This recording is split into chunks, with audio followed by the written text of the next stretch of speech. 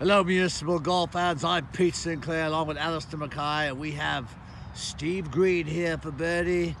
Steve Greene had his showdown with Andy, Andy Feck. Uh, Feck's a nice fella, Alistair, isn't he? Absolutely. Uh, sometimes he's misunderstood, but I'll tell you, Greene is really hitting the ball well.